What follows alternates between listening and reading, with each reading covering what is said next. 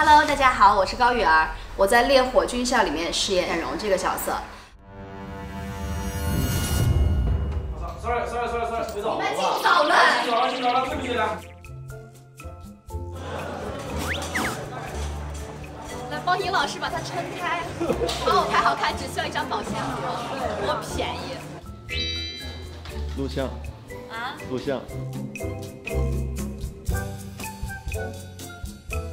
拍这个戏其实很辛苦，呃，经常在大太阳底下三十多度，甚至到了四十度。我并没有听高圆儿喊过一声辛苦，都是非常敬业的人。再放啊！拿住，拿住，拿住！我觉得显荣的性格和他的特点可以放在一起说，就是他是一个多面人。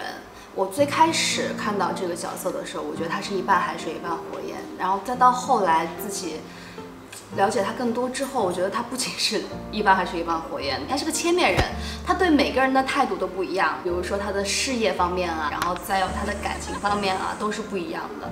呃，一个非常圆滑，身世又非常复杂，然后非常可怜，非常悲剧，但是又很霸气，然后刀剑无眼的那么一个人。毕竟显荣她是一个有军人气质的这么一个女性，然后我当时就跟我们的武术导演说，我希望我能学一些武士刀。第一是因为我们有这方面的打戏，就是呃跟谢江也好啊，然后跟其他的角色也好，我们是我是有用到武士刀的。我觉得提前训练一下，对我整个人对角色把握是有好处的。